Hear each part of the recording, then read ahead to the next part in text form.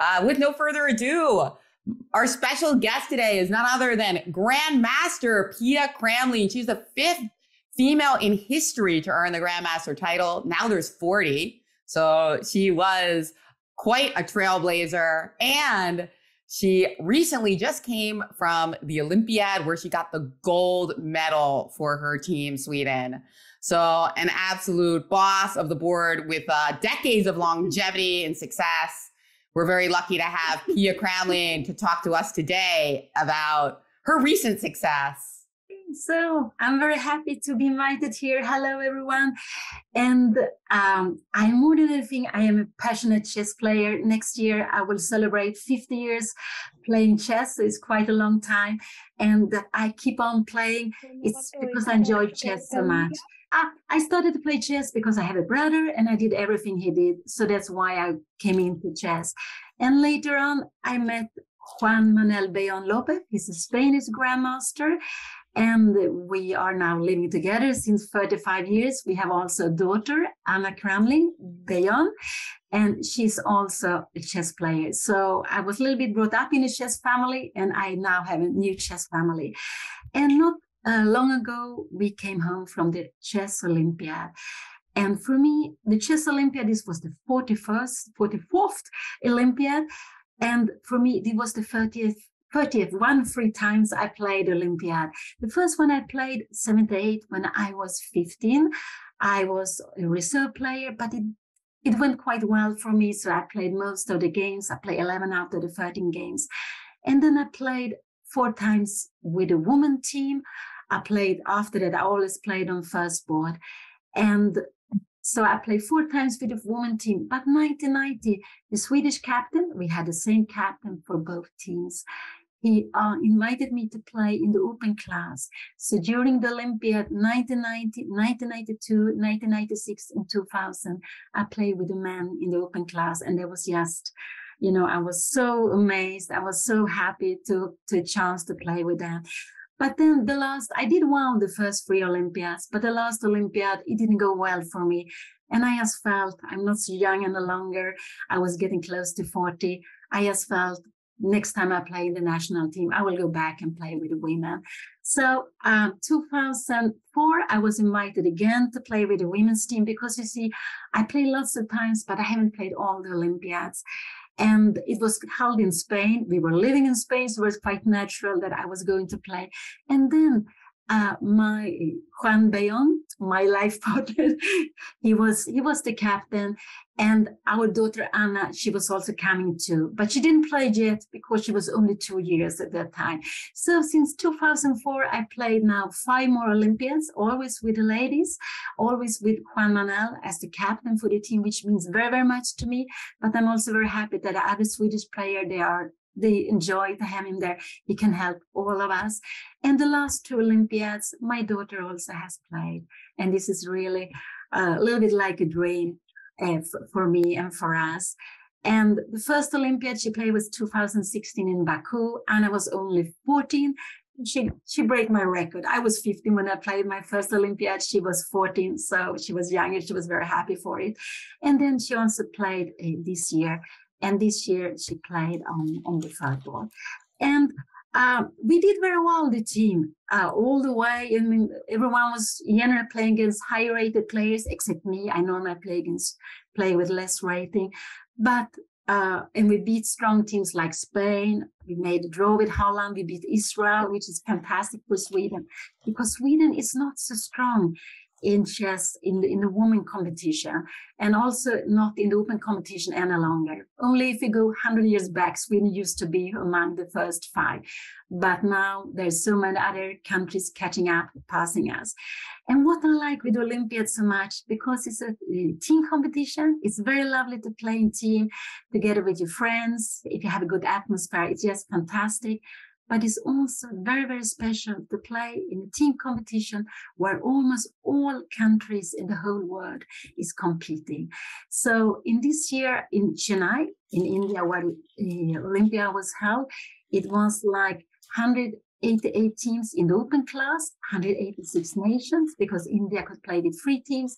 And in the women competition where I was playing uh, with my team, there were 162 and 160 nations. So this is very, very many countries from the whole world. And it's just, just a wonderful uh, tournament.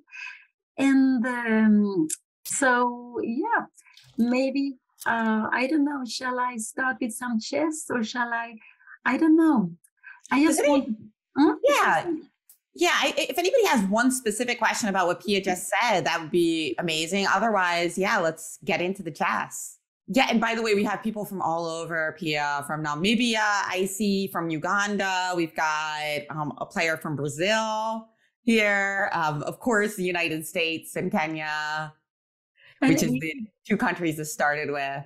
Just yeah, yeah, no, just just amazing, and that's what that's what I I mean I really love you know the when you focus the bubble I am when I play chess, but also this uh, meeting people from all over the world, and I've been traveling a lot, and then you know when I sit at the board, I never know. I mean I can meet anyone, and it's just just so wonderful. It's a little bit like taking away these borders we have, these walls, when we are meeting each other at the chessboard, and just I just I just love it. And yeah, maybe I should uh, start with um, with some games. I just wanted to say also that of all these 13 Olympias I have played, the one in India was the most amazing of everyone. They organized it so well, and it was just so uh, I enjoyed it so much to play there. And and this is also one reason why my play was uh, fine because it's so important to be happy when you play and I, I was just enjoying everything there in, in Chennai.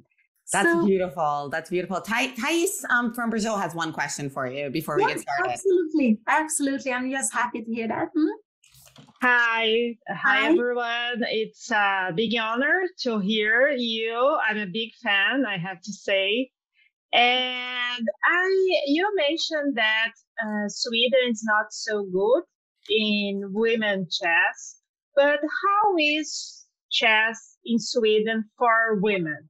How popular it is, and why do you think that we, you don't have so many Sweden women good at chess as you? um, in Sweden, um, chess is not a sport. And I think this is a big disadvantage because it's just nothing. It doesn't belong to culture. It doesn't belong to sport. It little bit stands alone. So there are some actual disadvantages with this. And the federation is not a professional federation. It's more like an amateur federation. And then in Sweden, um, we have this tradition that we all play together. And in one way, this is good. So I was brought up always playing with the boys. Um, I, I, I won the school championship always with the boys, and uh, we have almost no um, no championship for girls. We have one once a year, only one one week in a year, which is very little and we have we don't have now we had a team championship for women after 20 years it came back which was very popular. We it's a weekend. We had also um semi rapid swedish champion in, in in rapid and blitz which also came back back after six years. But these are maybe the only free championships we have. And it's very unusual to see tournaments special for girls or for women. And i believe that for the because we have girls who win this all over competition with the boys at young age. It happens all the time. Uh, it's uh, it happens. But what we have uh, so in younger years we have more girls playing but there's still uh, a few among all the boys. And when the girls become older they are just leaving more and more. And i believe that uh, this is very typical in the Nordic countries that we don't have so many, uh, that we don't have specific women tournaments in general. We have it, but very few. And it's the same in the all Nordic countries. And it's my belief, but it's my personal belief that uh, the Nordic countries are considered to be more equal between gender and this is why uh, I believe we have more resistance to organize specific women or girls tournament here because people think it's not needed. But I believe that to have lots of girls playing, lots of women playing, um, you need to have tournaments, you need to have trainings where the women or the girls are many. And the easiest way to be many is to have a specific woman or girl tournament. So I believe that this is the problem we have in the Nordic countries because um, the number here are much less. But those few who still continue. So for me personally, it was it wasn't a problem because I had some few girls friends, they left, but chess was so important. I had my brother, so I kept on playing and I always had to compete with the boys. So I always have to be one of the best among the boys, which was good to become a stronger player. But this is, I believe, the problem why we have so few girls. But now we have started with trainings for women. We started training for girls. We have even clubs who wants to encourage training for girls. So, the, so we try to give the girls double chances. So it's just changing. It's become a little bit better. But I believe this is the reason why we are so few. So in Sweden, if you look at among the player with ELO rating, the women are three percent. So it's a very very low number if you compare also with other countries, Western European countries. Hmm. I love that, Pia. In fact, we, USA is one data point because we used to have very few girls tournaments and uh, the mm-hmm. percentage mm-hmm. of players was like five, 6%. Mm-hmm. And now it's like about 14%. So it's really more than doubled. Um, and we have like dozens of girls tournaments now. So, I mean, it sounds kind of obvious. If you have girls tournaments, more girls will be in your federation. Mm-hmm. But it, yeah, it shows that there's a, a demand for them, that people like them and that they, they stay playing. I know a lot of people have tried to make the argument that the reason Nordic countries have fewer female players is because the more gender equality, the more people just choose what they want to do. Um, w- have you heard that argument before, and what do you think of it?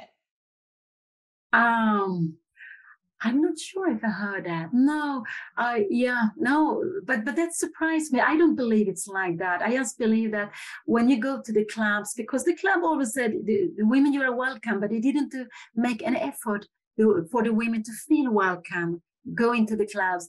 And then when you notice that you are just so lonely there, so yeah, it just became a problem. I think, and the problem was also, I believe that in Sweden we were not really aware of that it was even worse in the Nordic countries and Sweden than in other countries.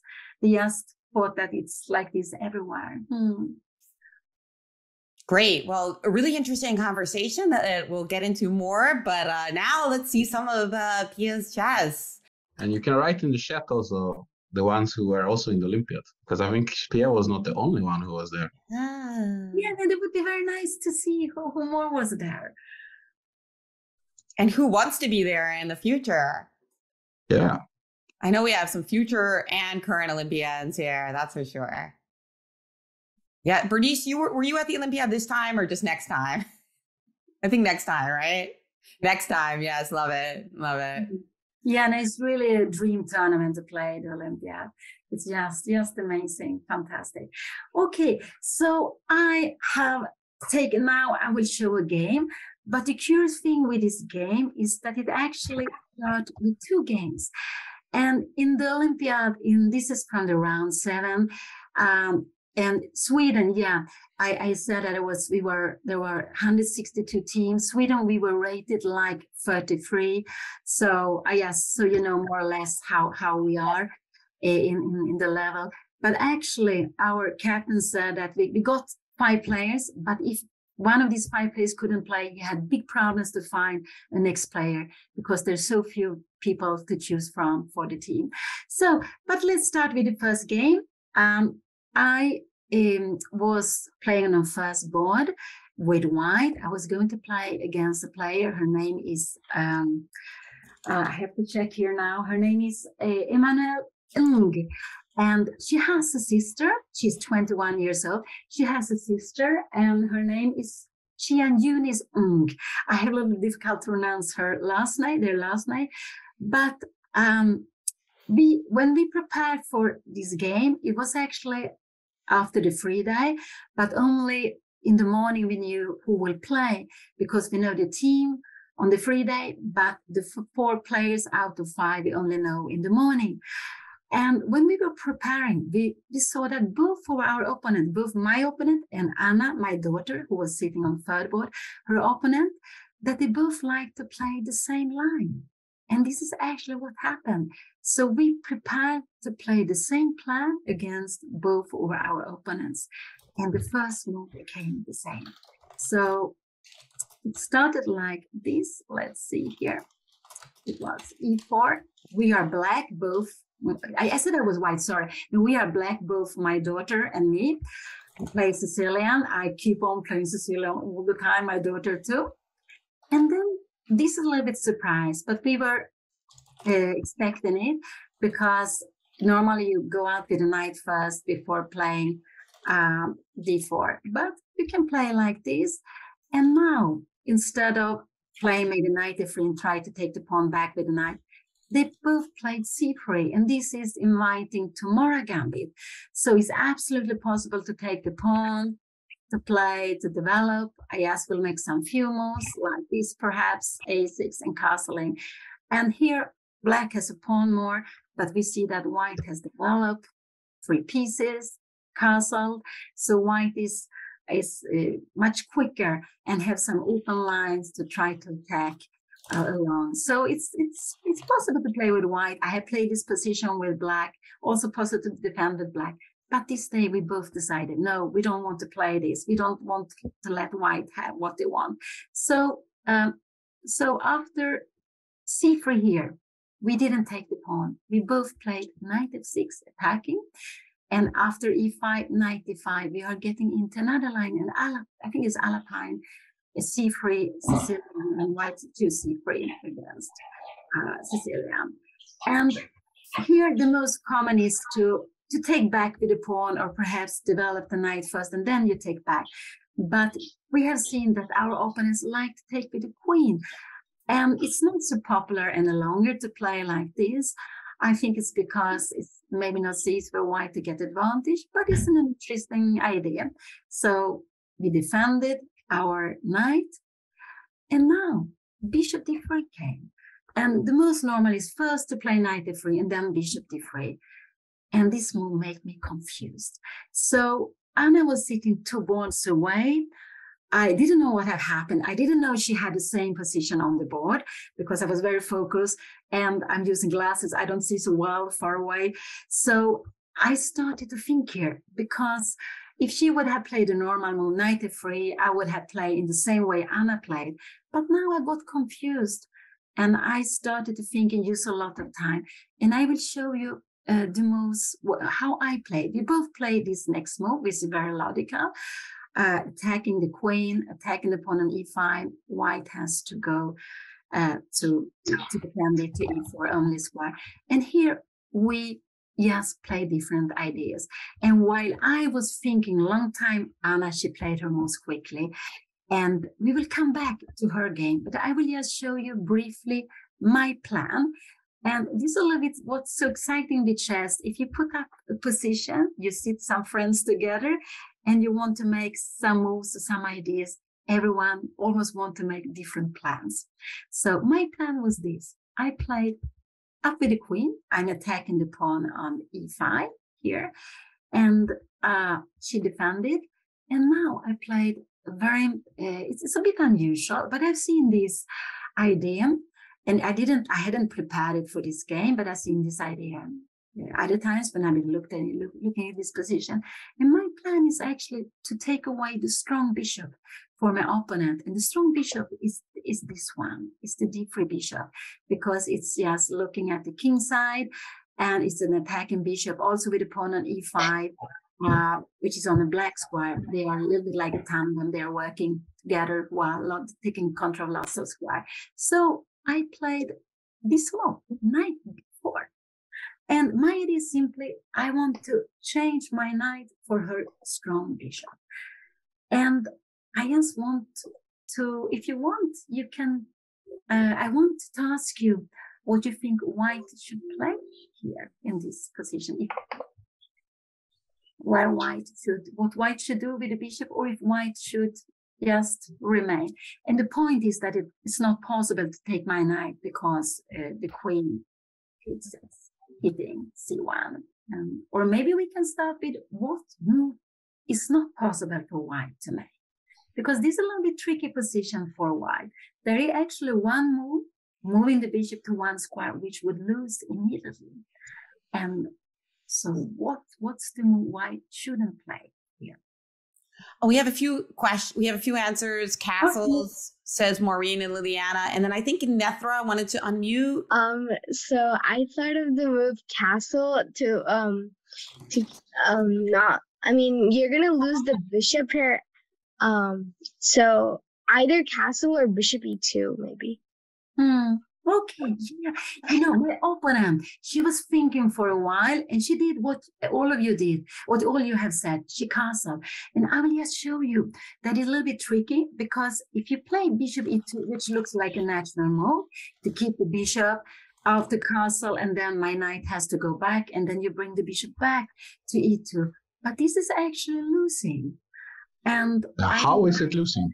Yeah, that's a good, that's a good yeah. question because this is very tricky. Yeah, it's very tricky.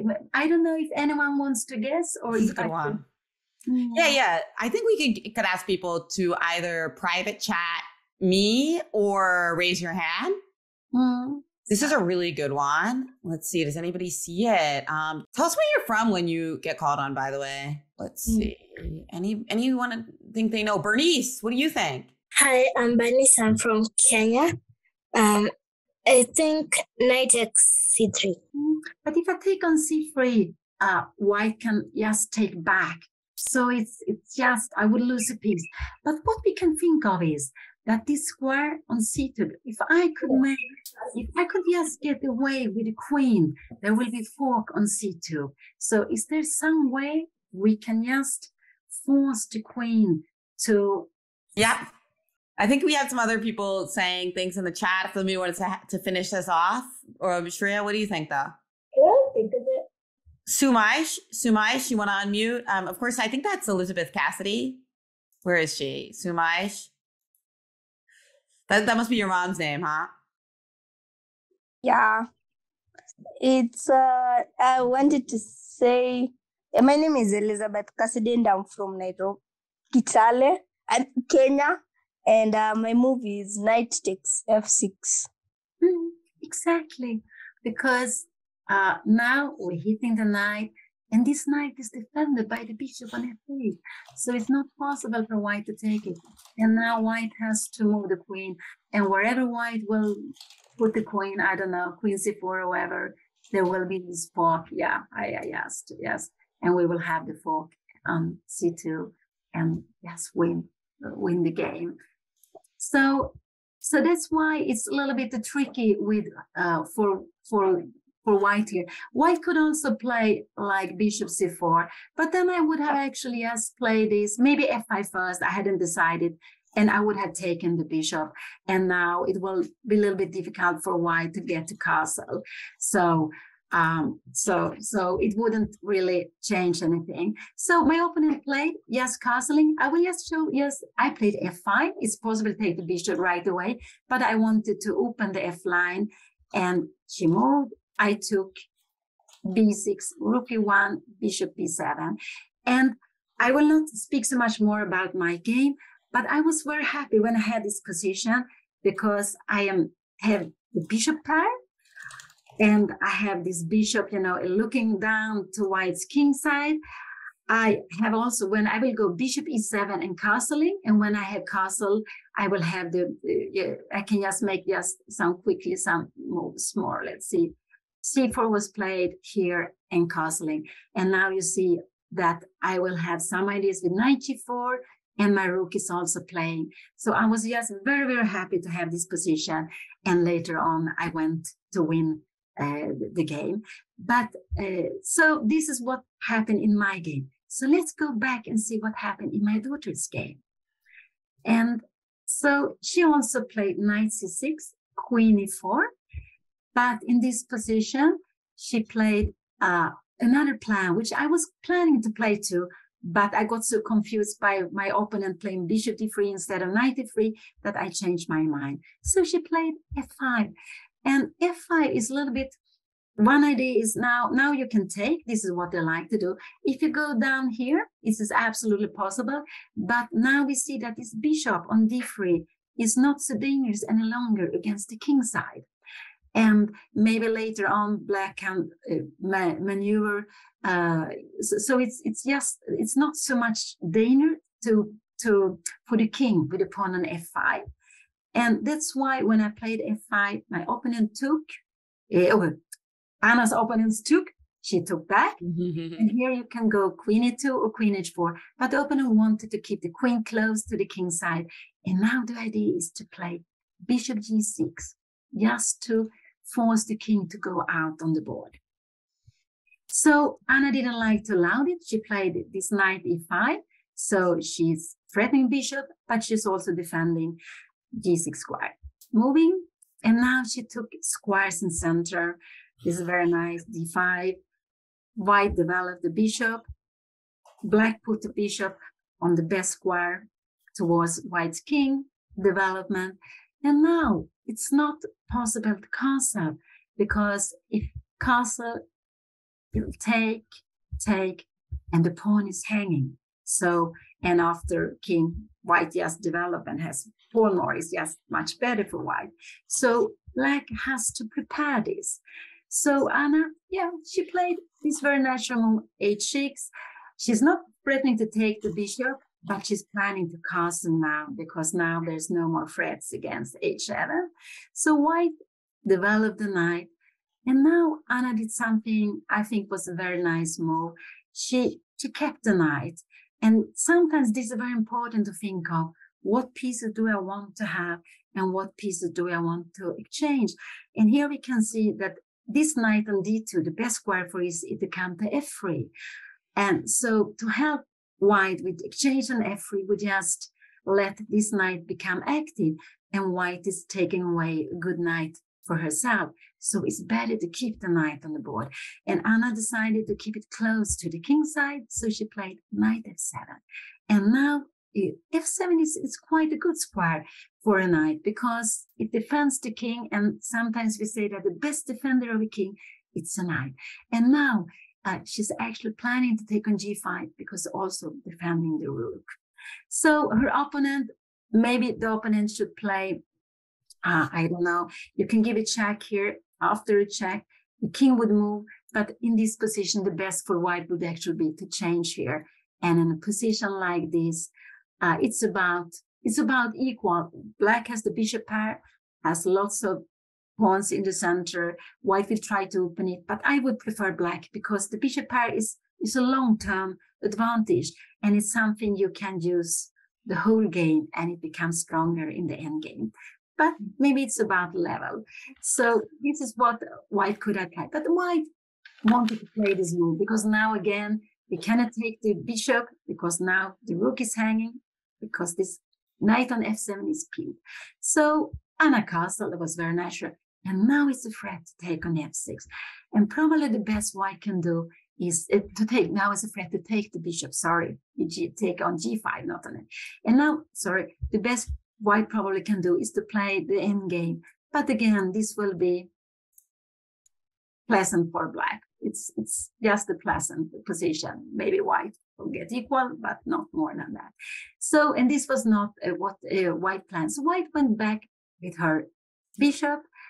Uh, Anna took the center with the pawns, and now it almost looked like black is white. Black is pawn on d5 and e5. White has only a pawn on c3. All the other pawns are on the first rank. And we can see that white, with choosing this opening where you go out with the queen very early, it's something dangerous because white has been playing with the pieces and not with the pawns and and still hasn't castled. So already here, black has the nicer position with the space. So here, white maybe I should feel the danger, but it's a little bit late here. But she played castling.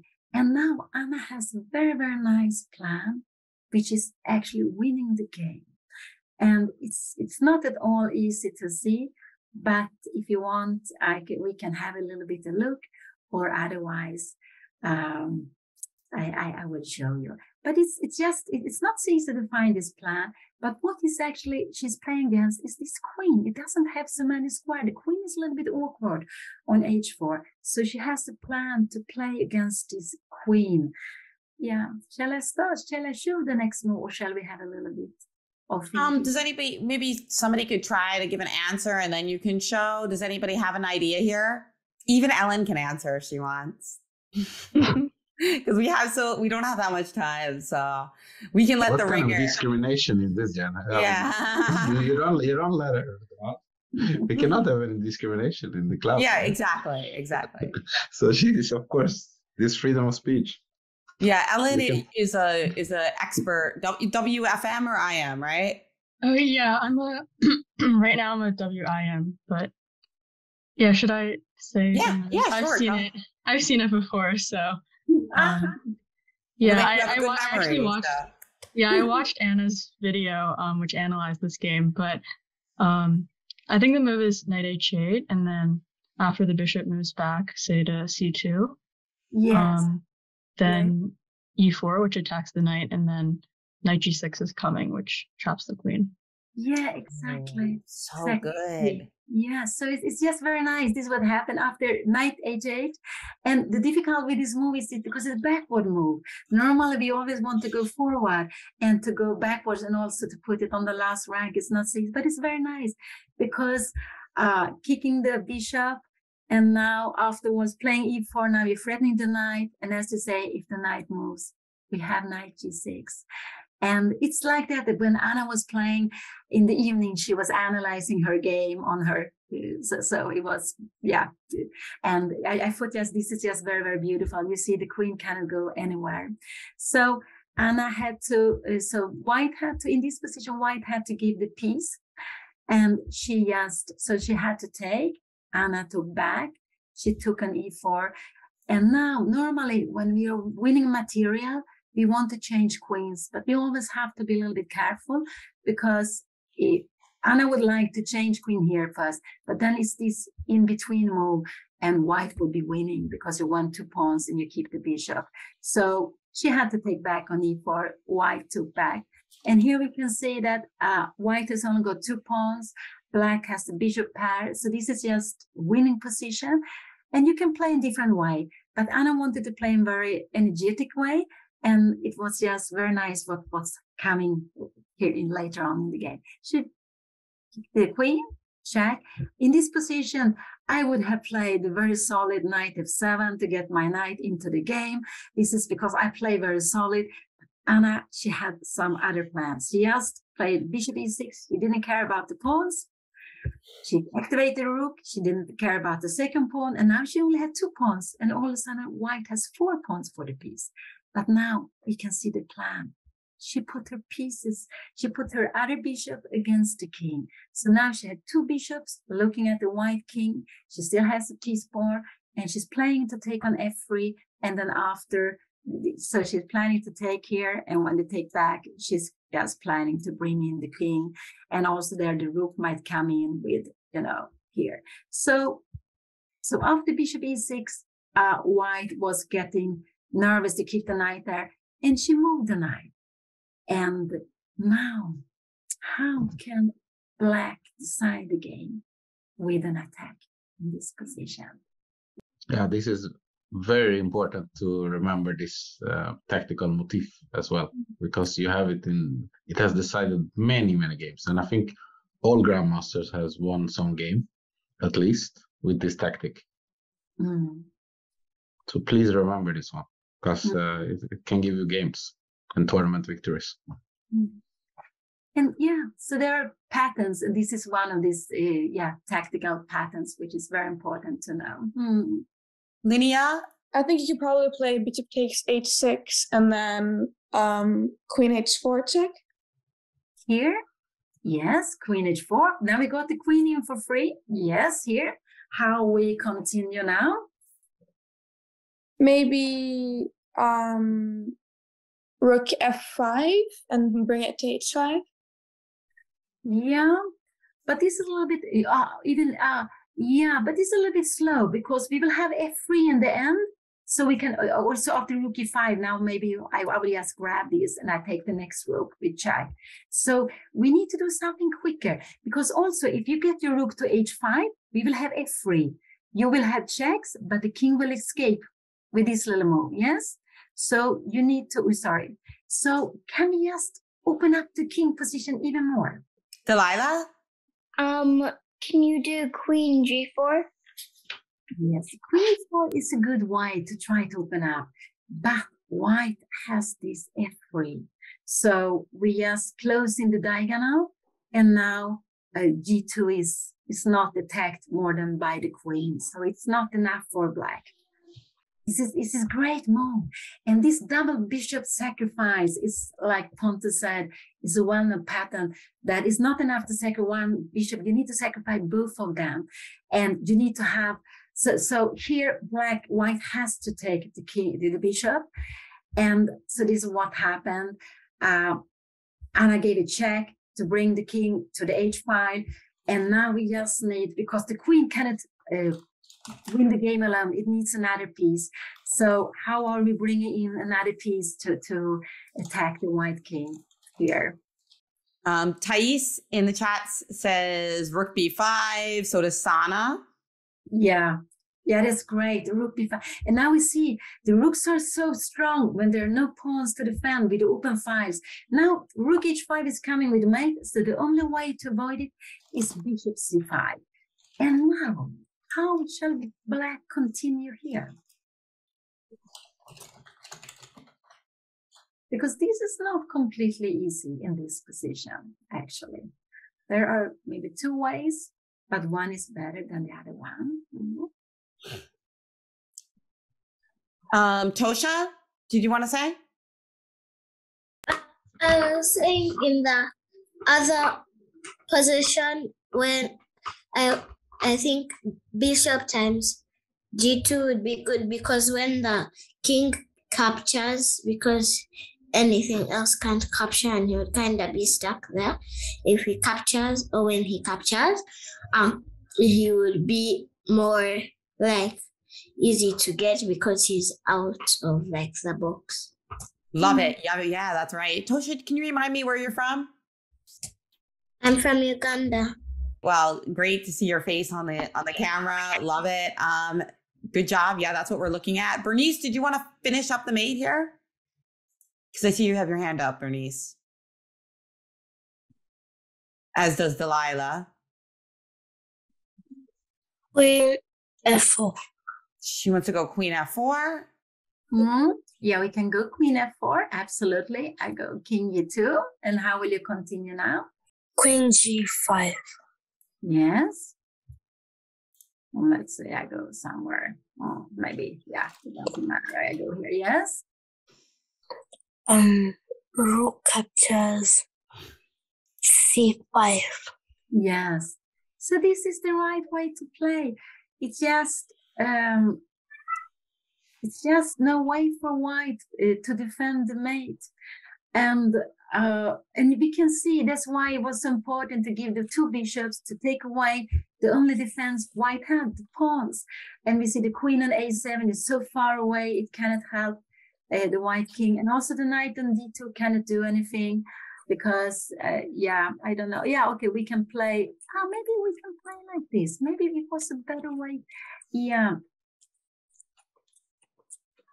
yeah maybe this is yeah we have a better way to play this actually.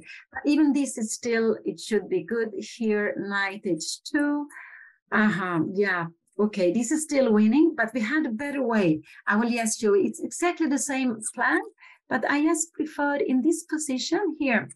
I just prefer to play queen h5 directly here. And now rook c5 it's exactly the same plan but with queen on h5 is a little bit better placed because after now knight f3, we just go king here.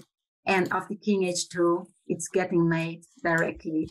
And after king h1, we just take the knight. And then we will have the mate. So, but like, like this. Mm. But the way you said was also good. It will be, um, let's see here, it, it will be winning, but uh, absolutely because, uh, let's see here, we had this here, here, here. I went, oh, sorry, I went down here and here. Queen F1 here. Yeah, but this this this will be yes very very good for for uh, black anyway, but it will take more time. So other one is a little bit more exact. So so this is what I just wanted to show. Anna actually, but I want to say that this position is tricky because what Anna played, she played something different. She played rook e5, which also looked like a good move. And I, I just want to show you what happened.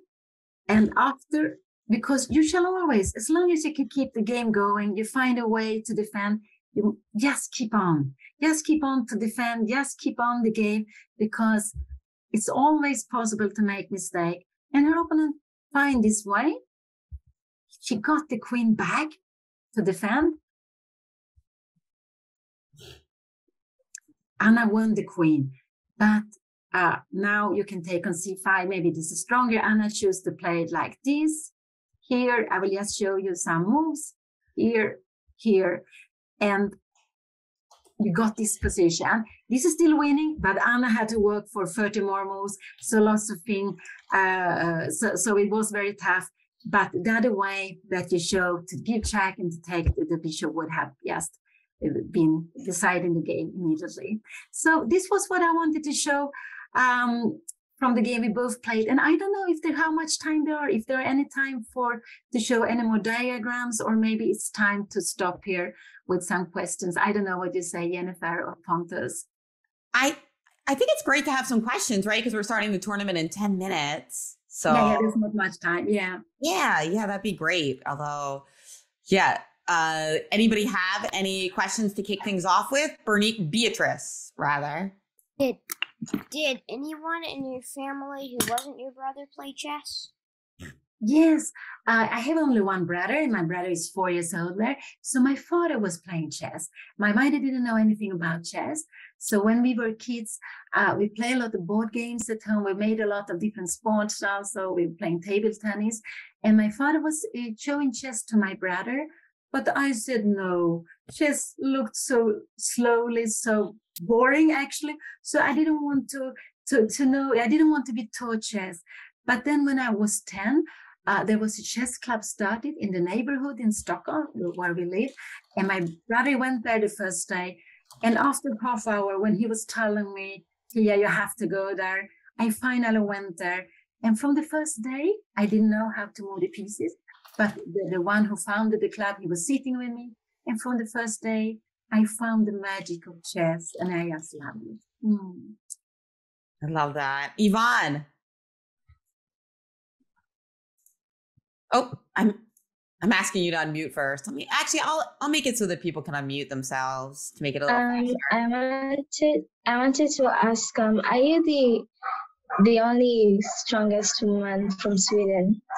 Yes, I am the um uh yes because I'm uh, I, I'm the only one who is a grandmaster and uh the the next one is Inna Agrest She's about um, around close to 2,300, best yet in 2,300. But I don't think, I, I'm not sure if she's a woman grandmaster or not. I, am not sure she's that. So I am the only one who has become a grandmaster yet from Sweden. Hmm. Laurel, you're you're up. Hello. I was wondering, what do you love about chess? What's your favorite part? Yes. I love, uh, you know, I love when I'm focused. So it's a little bit when I when I'm in my bubble and I don't know what's happening around, and I know you know what's happening on the chessboard. And this is why when I play in team tournaments, I sometimes a little bit what happened on the board on the side, but then I sometimes don't know what happened anything before the game has finished. And I love this being in focus when uh, and I try to uh, find ideas, try to find a way to, to um, uh, I don't know trick, but to, to to to try to win the game.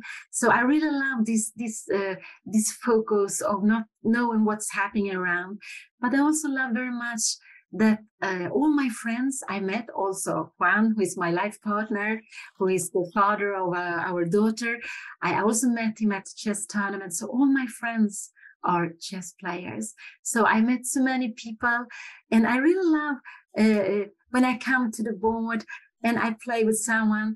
And then after, we have this tradition that when you play over the board and you meet your opponent, that after the game, you you we go together and we analyze the game.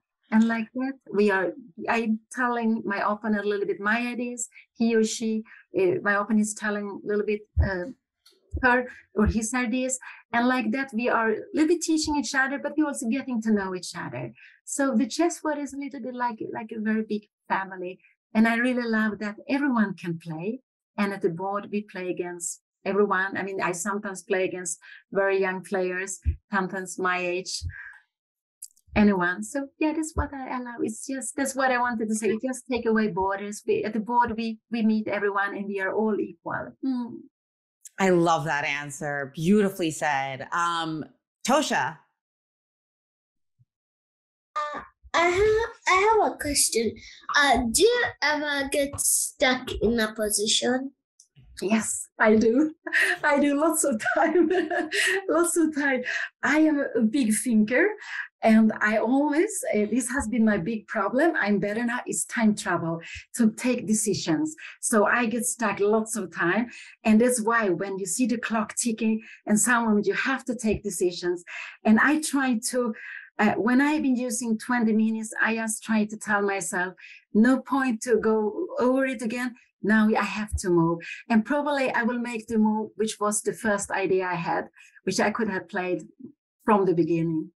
So love that. Yes. Get I, I, long think, wrong think, as they say. Um, mm-hmm. Ellen. Oh, oops. I think I oh, Iris is next, but Ellen.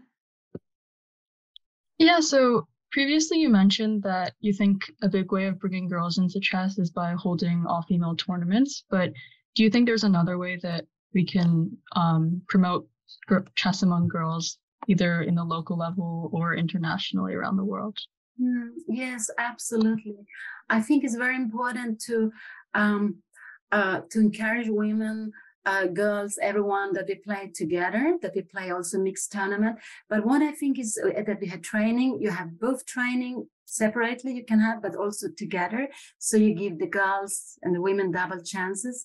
So, but I think it's very important that there are some tournaments. I, for example, I love to go to play in Gibraltar. And what to do in Gibraltar is an open tournament. Anyone can play. It's it's no, you don't have to have a minimum rating. And what to do is they invite a lot of women there. So normally there are maybe 25, 30% women. And I just think that when when you organize tournament, that it should be at least a minimum percentage of of one of, of girls so you don't feel that you are too lonely.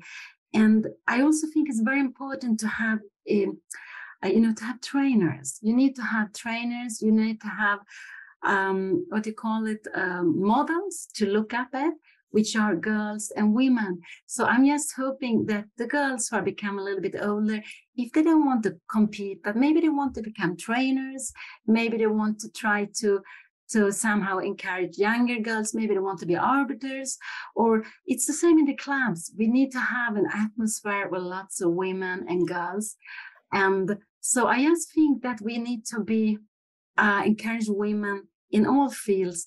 And i believe that in the long run after when, there are equal numbers we don't need to have the separate tournaments but now we have to have them because we have to be big number uh, when we are girls or women. So, so in Sweden, for example, we have this that we cannot make too many women tournaments or girl tournaments. So much resistance against that. But we have these trainings and we are trying to we have lots of things online also i see you looking at the clock jennifer so no no no no I, no we've got it we've got one we've got time for one more at least I, iris hmm. thanks thanks for squeezing me in um, and thank you for being here and um, your game analysis um, I wanted to ask you about you and your daughter. It must be so special that you guys are going down the same career path. I think it's rare for kids to want to be like yeah. even rare for women to be playing chess. Um, I was wondering, um, because you both sort of represent two different generations of women in chess, mm-hmm. can you sort of talk about the resources that see that younger women have now that you wish you had, and maybe how we could take advantage of those resources. Um, have to be about women specifically, but just the modern young chess player. Yeah. Um, I, I wanted first to say that uh, when I got a daughter, um, uh, my dream was that she was going to play chess. I really wanted it because it's our passion, and I really wanted her to share our passion. So, but I noticed when I try uh, to to uh, so, but I noticed it was so important. She wanted it. I couldn't um, encourage. I, I wanted to encourage her, but not to push her because when I pushed, it was a boomerang, and she said, "No, no, no more chess." So I think this is very important. But um, and I'm just so happy that Anna found her way of chess because I think the main importance with chess is find happiness with chess. And for everyone, this is different. For me, it has been competing because this was the only thing I knew. I didn't know the word Anna is went into. She's streaming. And and in the beginning, I was a little bit like this, but I see how much she loves it. And it's just fantastic. And I'm just very happy because Anna is promoting chess to mm-hmm. others and I'm hoping also to other young girls.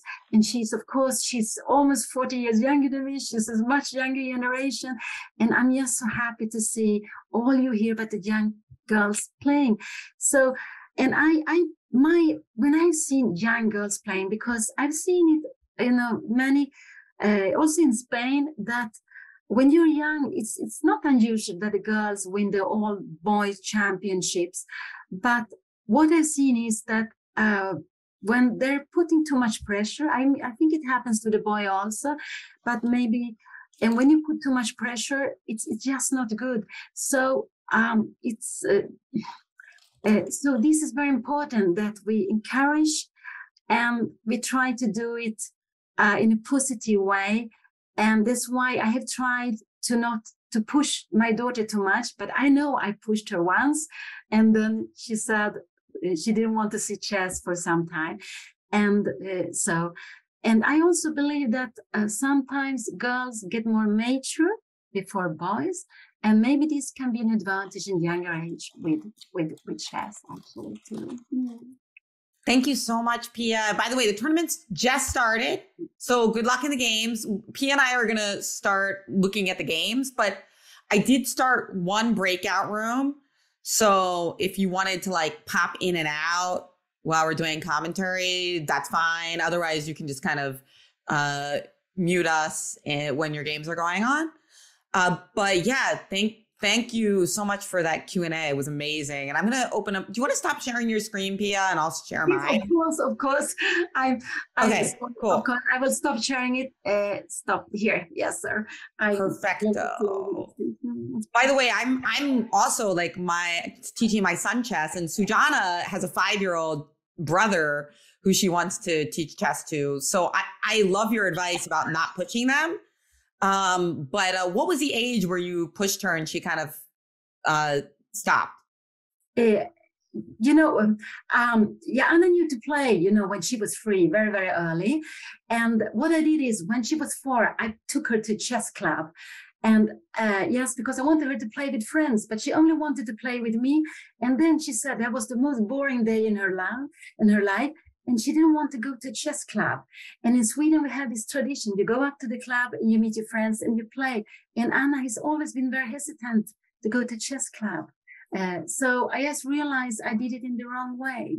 So that was one way of, of pushing her, which was not good. And uh, so it was it was just actually quite quite early. And then I afterwards I realized uh, when we moved to Sweden, Anna was 11. She had lots of friends in the chess, and then she was just getting much more interested because she had friends, she had a social life. But those friends were all boys, but it didn't matter. It, it was fine. It was her friends, and she she wanted to play and she wanted to compete. But it had to come from her. I could just give the we could give the possibility, but she had to choose. That's very very important.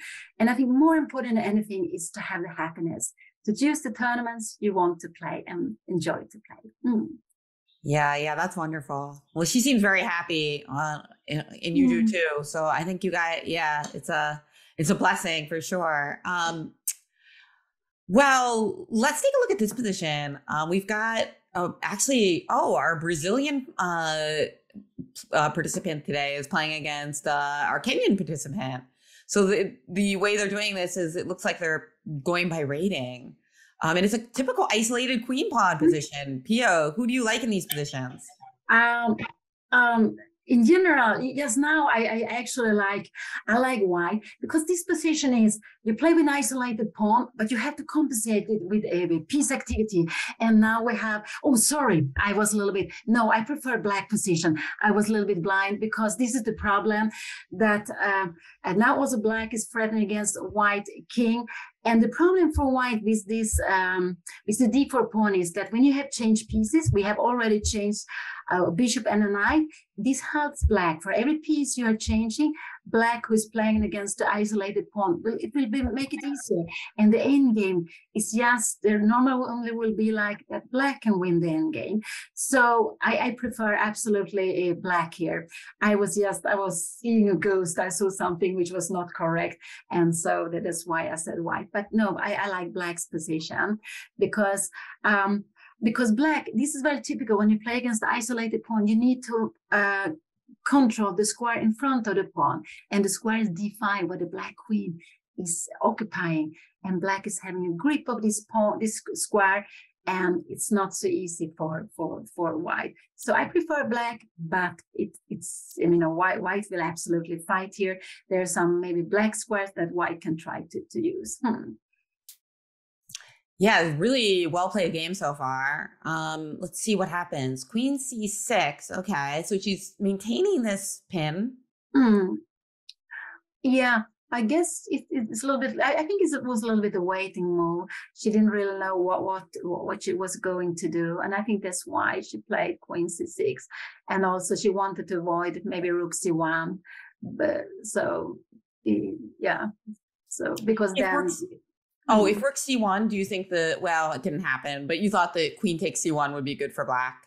Yeah, I think it would be good for black because you, you would, um, yeah, absolutely. Uh, I, I think so because after you would have had bishop e4, you would also win even the first the two rooks and also the bishop in d1. Hmm. Of course, right. Yes, yes. Good point. Let's take a look at that real quick.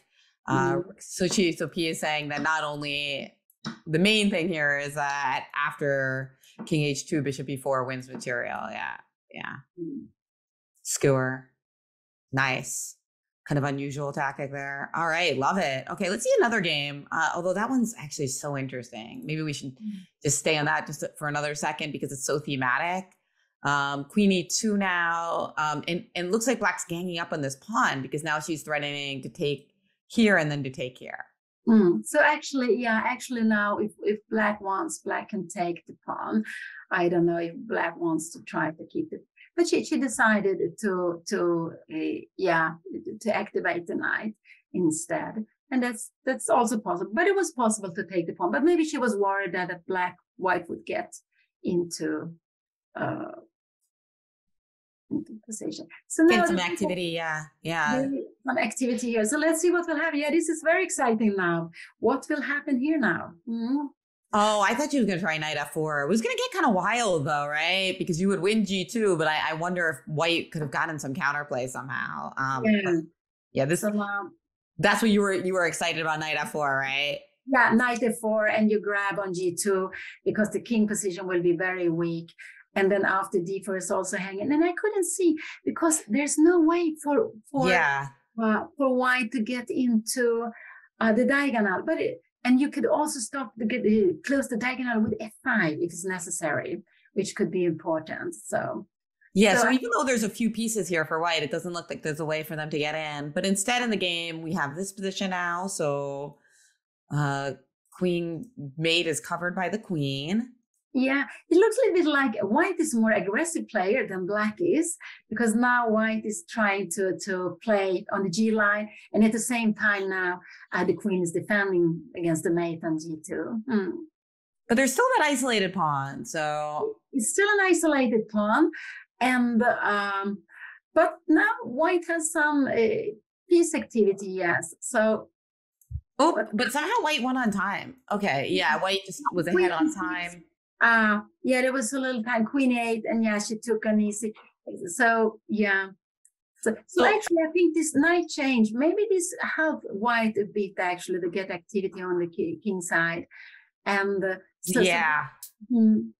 Because F5 didn't work out well because then this pawn became even weaker than this one, right? Yeah, but she has to.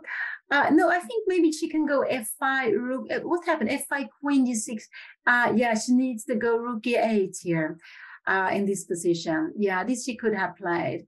And uh, so, so to try to defend. And but white can go some. You could go some b5, but you will just exchanging. So it's just yeah. She can go queen rook g3, absolutely. Uh, yeah, this is a little bit annoying, rook g3. And then, yeah, rook g3 is winning. I'm sorry. Because now when you defend, you have queen take h6. I, I think this should be fine, yeah? Yeah, this looks very strong. I mean, unless we can get away. No, we can't do anything strong here. No, looks pretty uh, bad. So, yeah, so this is yeah, it's pretty bad. So I think this knight g4 was a good move. That uh, that white, uh, yes. What that? oh yeah, queen to g4. So you can't take. So queen c7 is a good move. Yes. Queen c7 is a good move because you both um, protect against them. And, and I don't know if you can start playing some tactical, if you can go d5 here. Oh yeah, fun times, huh? Wait, so what's the idea of D D5 if uh, oh there's this is hanging bishop F5, I see. Yeah. And if bishop takes D5 anyway, you wanted to play this, yeah. Yeah. So so maybe yeah, this is possible, but you need yeah, maybe you need to grab. Yeah, yeah, very interesting game. Wow. Impressive. very, very tactical there, yeah. Hmm. Now, how do I find the games that are still going on? I'm sorry, guys. We usually do a, uh, oh, here it is. I found them. Okay. Usually we do the regular tournaments, but this looks great. Um, let's see some uh, matchups here. Um, there's so many options. That game was so good, so it's hard to beat it. Um, here we got, okay, we got a new game here between mm. um, that girl too from Namibia um, versus Lucky LOL. Beautiful. And we looks like we've got a, a, uh, a uh, four knights. Yeah, this is a very, this is why knight c3 is not so good. This move is very good with white black is playing to take on e4. Actually, now you can take back on e4. You could take an f7, but this is considered fine for for black now. So so instead of knight c3, the most popular moves are knight g5 or d3 is there something else I'm missing here? I don't usually play this for white. What else? Knight g5, d3, and castle. Yeah, you, you don't have to defend the pawn if you don't want to. So, so this is what you can play. Yeah. Hmm.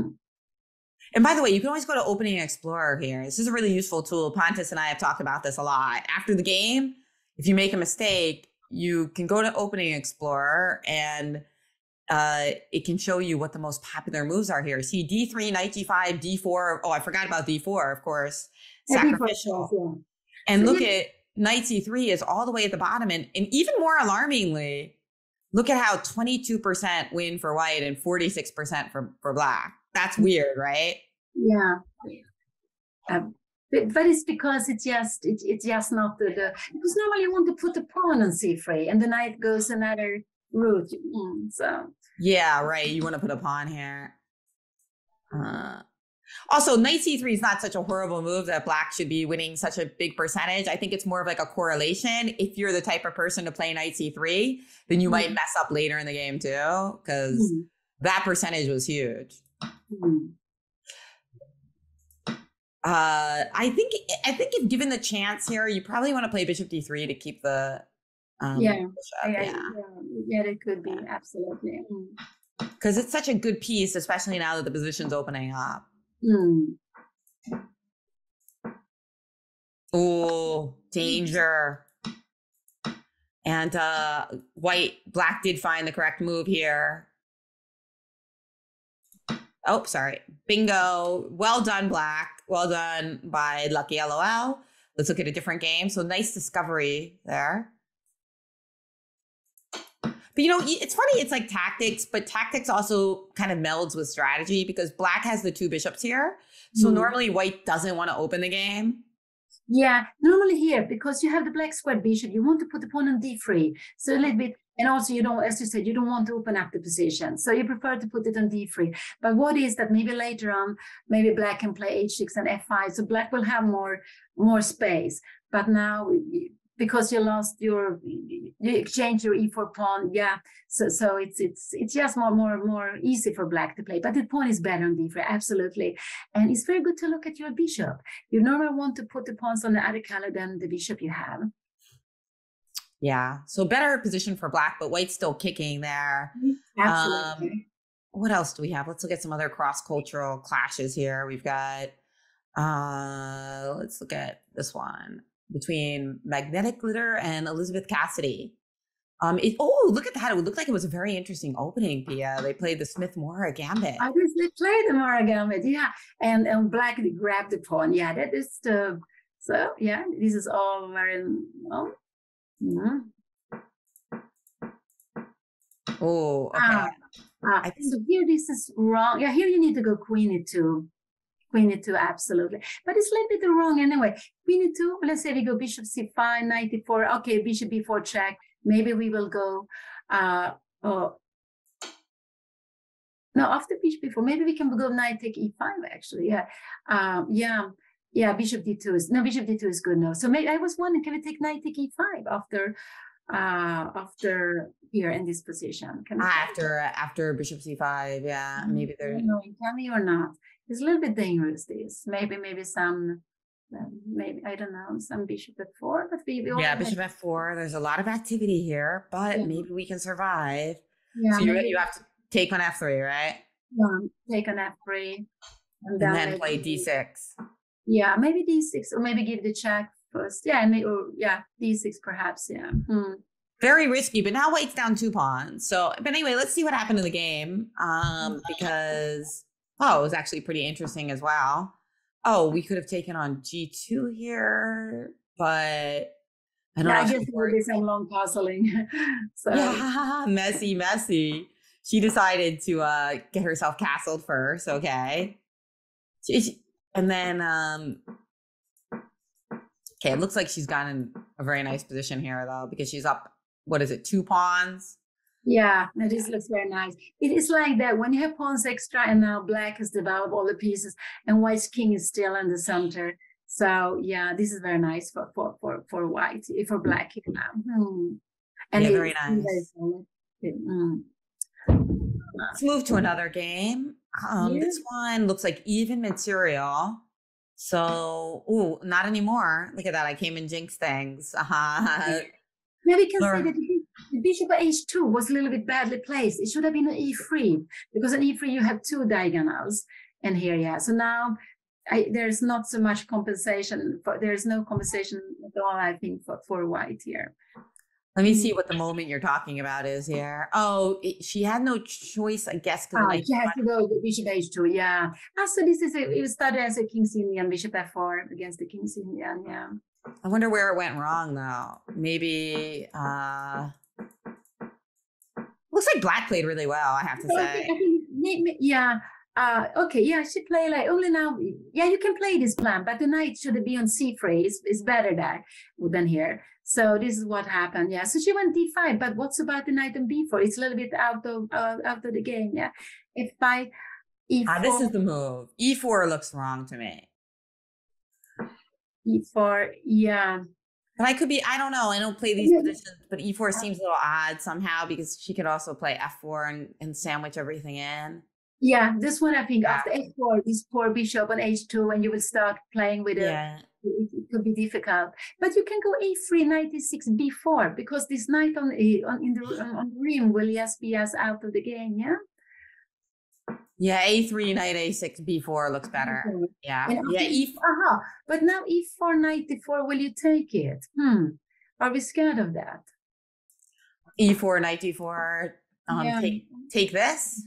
Yeah, I was wondering. Wow, yeah, that looks that looks risky, but uh Well, it looks risky, but I, I think this is uh, I think it's possible to play for white because you just control e4, so it voice black. Yeah. So let's see what happened. Now I have this position. Uh, uh, but white has won the pawn on e4. Um, So there is ah, but there's a piece hanging. Yeah, you need to defend the bishop. Yeah, there's only one move here, I think. Yeah. Well, actually, white white white lost on time, I think here. So Oh, uh, yeah. yeah.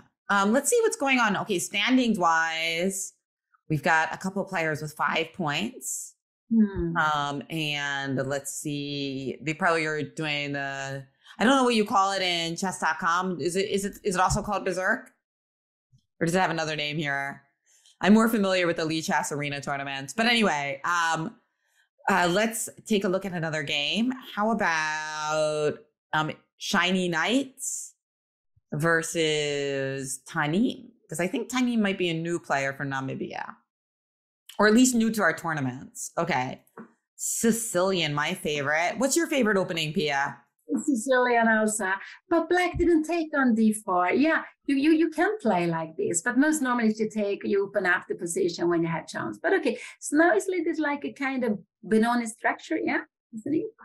Uh, Yeah, Bishop D3 doesn't feel right here. Yeah, no, you can you can either go a4 if you want to stop b5. You can go c4 if you like the pawn on c4, but maybe a4 or yeah, you can go bishop d3, but maybe bishop e2 is better actually because b5 c4 is coming. Yeah. Yeah, that's what I was thinking. Yeah. Um, but Bishop D3 just feels awkward to me. But uh let's see how she responds. Considering you played it C4 looks like a good move. Um yeah, okay. Let's see what happened. wanted to open up.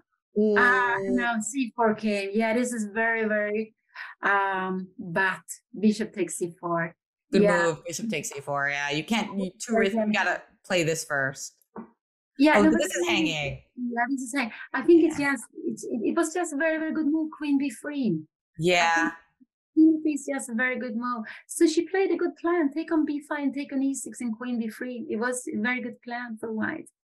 Yeah, just classic double attack and easy to miss C4. Um, so after C4, Bishop C4, D5, takes, takes, takes, and now White is just uh, certainly crushing. We'll see what happens there.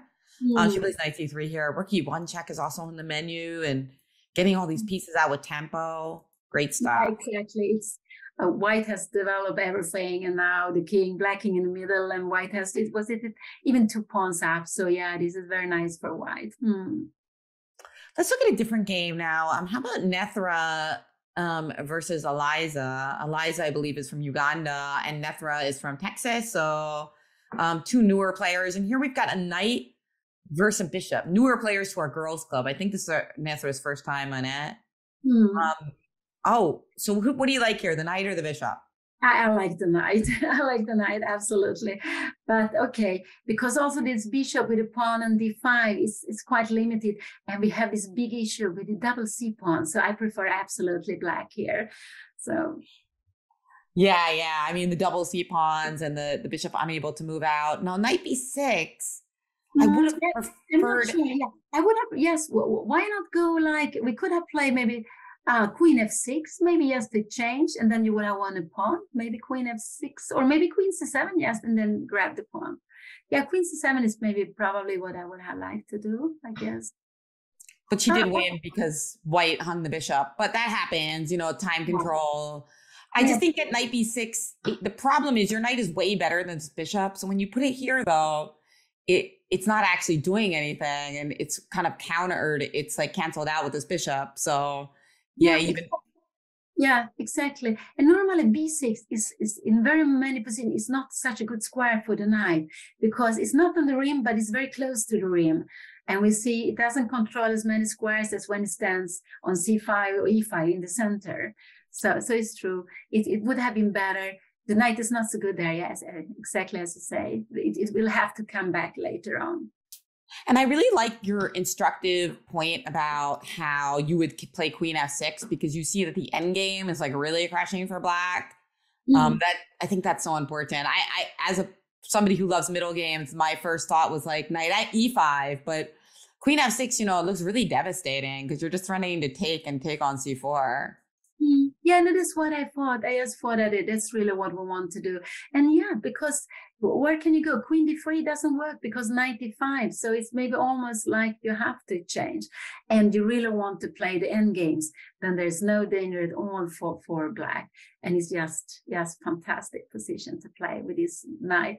And we know we always will have the stronghold with the knight on c5 later on if you want to come back. But first, first is to win the c pawns. Hmm. Very instructive. You know, great players are really good at knowing when to trade queens. We should have a lesson on that sometime. Mm. But I, you know, the the better the player, the more they're comfortable with when that moment is. Mm. Um, because I love to change queens, so maybe I change queens too much. But I think it comes with age also. I, I don't mind to go into the end game. I, I, I like I like to play it, and when I take off the queen, there's not so easy to attack me any longer. Let's see, what do we have here? Zori, who is from Uganda and playing against Adego from Kenya. Um, but this one, white's up a piece, but um, black has, yeah, okay. So white, white should be able to do hmm. fine here. Um, let's see about any other games going on. Another one where white is up a piece. Yeah, but this is could be a little bit exciting because okay, you have we have four against three for white, but we have these two pass pawns and uh, yeah so it will be some but but white will normally decide the game on oh knight g4 yeah this was a very good move could it have been a mistake could it have been that you wanted to play uh knight g5 yeah Sorry, I know some people are having a few technical problems with the arena. I, I think that's chess.com software. I'm going to blame it on that. It's all automated. And I think they're using a new, it's like a little new, they're new arenas. So uh yes, bear with that. Um, you know, it's fun that you guys get to play even more games, but there are a couple technical issues. Um, Nethra, you had a question? Yes. Um, so in my game, um, um, I knew you were guys. I was hearing you um commenting about knight b6. Um, I was playing knight b6 to protect the a2 pawn because the queen was also attacking the a2 pawn in my game. So oh, she wanted. She was worried about queen takes pawn, but your yeah. ah, but your bishop your bishop was hanging on c4, so she can't actually take it. Oh right. Oh. Yeah, it's funny. Okay. I didn't didn't even occur to me because it just seems like. But you're right. She can move the bishop and then take the pawn, but then your c pawn will be hanging. So yeah, but that that's good that you had an explanation for it. Okay. Yes. Thank you. Oh, it is becoming such an exciting game now. Oh yeah, look at those pawns. Yes, so, sorry about that, Bernice and uh Tyos. I, in fact, Thais, who's also a chess trainer and coach, says that she's had she did an arena earlier and she also had some issues. But on the positive note, you guys can now listen to our commentary as it's a real treat to have Pia doing commentary. Um, okay, so white should have things under control, but okay, keep, keep going now with king g4, and it's still not that obvious. No, because we have two pawns and a king, and we have two pieces to defend. It's, it's not at all easy. It is. Oh, I am just one. Yes, yeah, it, it is still. It, it is still, but uh, uh-huh. I couldn't find a win there, Pia. Did you find one? I don't know. I wanted to go some. No, I want to go knight f1 check and yeah. Maybe I was looking at that too. Okay, but okay, at least she has found a way not to lose. Um, wait a second. I'm I take that back. No, I jinxed her. Oh my god, what a what a nice checkmate at the end though. That's really pretty. That's really pretty. I, I thought that was gonna be a draw. Yeah. No, I've seen the checkmate in some also in some studies they have this idea in the end that you so so you get the coin but she had to go down yeah. But it's because we want to always go um, upwards on the board. But uh, yeah. Well we could have gone here i guess if we, yeah, we would go here yeah. Anyway except king b3 yes. So what i want ah no knight f1 you have king f2 no it doesn't work yeah, that's a problem, right? You were hoping that you would they would play pawn takes f1, rook f1, but yeah. Oh, yeah, the king f2, yeah. No, I think white had to flop the pawns much earlier. So um so this is just so she did the best. I think she did the best. Yes, actually. Wait, are we are we winning here though? I thought we would have been winning here. Um, no, that pawn. So what she did was the smartest. Yeah, she just ran up to make a queen. That was really good, actually. Really well played. Very well played. So it became very very exciting this game. Yeah. So we. So what? What did White do wrong then? Probably knight f3 check was wrong. Uh, No, and think I'm sorry, knight f3. I think yes, she went to take the pawns on the queen side, but I think she had to go first to win the king side, and then she can start. So I think she had to keep the uh, knight closer before the move start moving. So uh, I think much earlier. Uh, let's see what what did we have in maybe this position. She took an f6 uh, long, long, long before, a lot long with some moves before. Sorry, maybe Okay. maybe here. Uh, I don't know what's happening here. So what, what did happen had g4. I just think she has to go uh, rook g1 and knight d4 and to come with the king, something like this. Yeah, or maybe just rook e6 and then knight f5, right? Yeah, okay, yeah, that's very good. Yes, this is Yeah. winning. You're right. That, that wins because if you win one pawn, yeah, then it's so rook e6 check was a very good move. Yeah, and you win. it.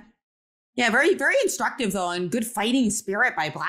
Boy, oh boy. I mean, like never give up. Just like our current US women's champion, Jennifer Yu, who Mhm. like lost the bishop in eight moves and managed to come back and win. Absolutely. No, you always have to keep on, keep the game going, and because it's it's easy. Sometimes we make mistakes. So yes, it's very very good fighting spirit here. Absolutely. Mm. By the way, Tasneem um, didn't get a chance to ask a question earlier and has one question for you. Tasneem, I'm asking you to unmute and tell us where you're from and your question for Pia. Okay, hi. Um, I'm from Namibia. I was just wondering, uh, is there any specific like opening that she likes besides the Sicilian, like she mentioned earlier? Uh, with sorry, I didn't understand your question. Uh, I it's a specific opening with Sicilian. Yes. What did you say more? Besides, um, Besides the Sicilian. Yeah. Yeah. What What are your other favorite opening? Like, what's your favorite opening for White? Ah, for white. Okay. I played g4. I used to play e4, but when I got to know Juan, uh, he changed me to play d4. So I keep on playing d4, knight f3, c4. And it's, uh, I think it's quite good because it's not as theoretical as e4. e4 demands more. With d4, I can give, I can get more to um, lines that where I don't have to know the, the, the exact moves, but I need to know the plans. So D4 suits me more. And also my daughter, our daughter also, she's a D4 player. So the whole family, we play D4 as white. Ah, yeah, that's that's that's nice. I think you know you learn about so many different types of positions when you play D4, so it's really good. Um, I'm gonna close all the breakout rooms, and uh, good job, by the way, to uh, the everybody who played, and um, to all of the um, great questions. If somebody has one more question, um, do feel free to ask it now. Uh, you know, if you want to ask anything about how to train better, that would be great. Cameron, hello, thank you so much for coming. You're awesome. Wonderful to see you here. Um, yeah, I, I did want to ask Pia when you showed this game where your daughter made this amazing double bishop sacrifice. like, does, what kind of joy does it give you to see your child making all these genius moves? That's got to be like the best feeling ever, right? Yeah, no, it's fantastic. No, it's really lovely. But I didn't know during the game. I saw it afterwards. So during the game, I didn't know she had played like that because I didn't see any of her moves uh, at that moment. But afterwards, yeah, no, this is it's it's it's fantastic. I'm, I'm very I'm proud of Anna to, to play like that. And I see that she's she's much more aggressive than I am. I'm more I'm more solid. So I have another style. Mm. Oh, Delilah, yes. What's your question, Delilah? How how how long was the turn? How many rounds was the tournament supposed to be? I think it was supposed to be like three rounds approximately, but it uh it, it, got a little buggy because I think chess.com's working on their arena format. But the good note the good part was Pia and I got to dig into some of the best games today. Um so there was a, a hitting blessing there. Um and, and any other uh let's see, Tasneem, did you have a did you have a follow-up, Tasneem? Yeah, I did have a follow up question. Um, I was wondering for like beginners and stuff, what is advice you would give to like get better at playing? chess? Uh, wait, uh, to, to start to play chess. Um, I think it's, I don't know, when I, uh, with my daughter, it was very important. For her, it was very important to, when she saw me play, she wanted to play also. But I thought the main thing was to get my daughter to, to play with other children. So I actually brought her to a tournament when she was five and she played with other children. And for Anna didn't understand this with the points or anything. But in the first tournament she played, she actually lost her first five games. She was much younger than other ones, but then she won. And the happiness was not winning the game, but when you won the game, you could go to the to the arbiter board and you could give the result. And she was so happy that she could do what the other one was doing, and that was the main thing for her. And I, I think that for children, it's very important to meet other children to play together. And uh, because they have so much fun, and that's why I love this junior tournament. Anna was five, other were maybe six, seven. They play the game. First, they shake hands, they play the game, they shake hands, and then they go out and play together. So, um, uh, yeah, I think you need to have friends to play with. And then, of course, it's good there is someone telling you when you make mistakes. But in general, to have friends to play with and to enjoy the game in the beginning. And when you're child, you should, yeah, playing children tournaments with other ones and just yeah, have fun. Mm. Did Pia? Did you or your um your life partner want um ever uh let Anna win? Yeah. uh, yeah, at home, yes, yes, we, ha- we have done that. We have done that. Ooh, yes. When did you stop? What age? How old was she when you stopped letting her in? I, I don't know. I, I don't know. I think it was, I, I think I, I stopped earlier, absolutely, than, than that. Absolutely, I, I did it. I, so I think it's when I realized she was, you know, strong herself, that I don't did it. But I don't know what age I stopped. Yeah, yeah, yeah. I, I, I, I, I let my, I didn't, when I was, when I, before I had a kid, I said I would never let my kid win. And then when I had a kid, I was like, well, of course I'm going to let him win. He needs to understand checkmate. But um, now I'm, I'm thinking maybe of stopping in a couple of years because, you know, it's good for them to learn to lose, you know? Yeah, that is very important. It was actually one of the main things for me. I really wanted Anna when she lost the game that she was not crying because I could see so many girls who were crying, and I just wanted her to forget about the game and go to the next one because losing has been something very difficult for me. Uh, Anna's dad is very easy; he can relax, but it has been difficult for me, and I didn't want her to be like me. And I wanted her really to, to enjoy it. And it's part of the game. We can always lose and win and draw. Anything can happen. So. Mm. Thank you so much for staying on to answer a few more questions. Bye to everyone who has to leave. Um, Concilia, did you have one question to wrap things up, perhaps? And I also wanted to give Bernice a shout out real quick. Yeah, I have a question, more of a concern. Sometimes when I'm playing a high rated player against a high rated player uh, during tournaments, I end up in a drawish position, but instead I invent new tricks and end up making. I don't know what should I do in that position. Like you see, you either drawing or you're going to win, but you, you don't want you don't want to lose, but you do you want to win at the same time. So what do you want to do? What should I do in that case? Yeah, no, this is the problem. The moment, because we get position where we want to win, but normally when you want to win, you are also opening up. You give maybe little chances to your opponent. So either to have complete control and not give any chance at all, but it's difficult. So I just believe that if you go for the win, you might lose some games, but you will win so much more games. So I think you, you should go always for the win. And if there's some mistake, try to learn from them but in the long run you will win so much more and uh, yeah I, I, think that's that's a much better attitude to be like that mm. you can also that. check Pia's games uh, because Pia is very good in um, killing off the counterplay. So uh, that's a good uh, tips for everyone to check Pia's games because she's really good in this. Oh yeah. She, she likes to eliminate uh, the opponent's last threat, so that she, she and then you will not lose because if they don't have any threats left, then there's only two results to play for. Mm. Yeah, so no, I, you, yeah. Mm. So check Pia's games. Yes, great, great advice. Hey, I want to give a shout out to Bernice. I mentioned earlier in the beginning of the session that you've been doing a lot of work to spread chess, um, giving out chess sets to kids in Kenya who uh, can't afford them. That's beautiful. Do you want to talk about that for a minute, Bernice, and ask a final question? Um, okay, we give, we go give chessboards to schools in the slums or children's homes, and we come and train them how to play chess. Then we train the teachers so that they continue teaching the children. Then at some time when they've learned a bit, we bring them together and play a small tournament. Oh, that's, That's Mm. beautiful. Mm. Well done, Bernice. Mm. You are Thank a, uh, it took me longer to understand the same thing as you know already with uh, 11 years of age. Yeah. So uh, you are you are definitely smarter than me. What do you mean, Mm. Marcus? Can you elaborate on No, that? we are doing the same thing, but it took longer time to to, to get it. You know, I was Gotcha. um, I was almost 30 before I got it. so Bernice is much smarter than me. To realize that the real purpose of chess is to give it to other Yeah, people. exactly, exactly, exactly. So so uh, she's much smarter. So she has a brighter future.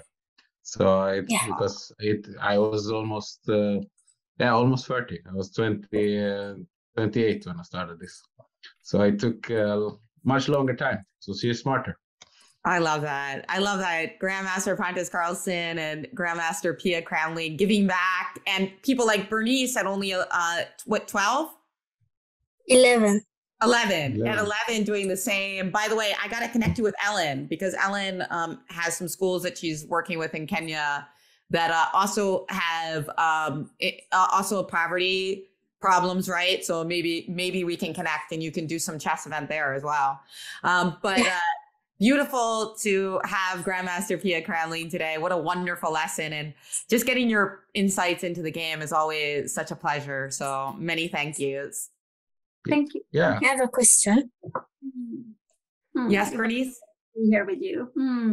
Um, what do you advise for training, like tactics, like training? Ah, tactics training. Yeah, you can go online. You can take a book.